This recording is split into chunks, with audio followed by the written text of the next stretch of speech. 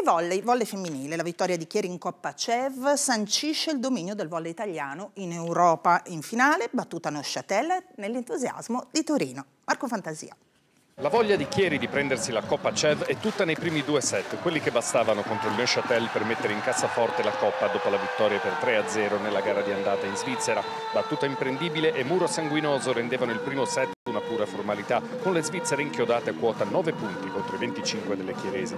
Il secondo set cominciava più o meno allo stesso modo, poi finalmente le svizzere si scrollavano di dosso l'emozione di trovarsi davanti al Palla Dolfini di Torino al completo e cercavano di dimostrare le qualità non eccezionali ma comunque interessanti mostrate nella gara di andata.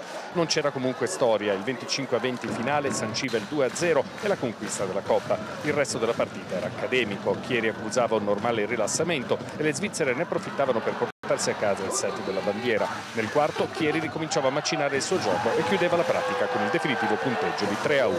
Tutte protagoniste, dai muri della cipriota Zaccheiu agli attacchi della belga Grobelna, premiata come migliore in campo. Due set dove eravamo molto molto concentrati, poi il terzo dove abbiamo un po' calato, però va bene, ci sta.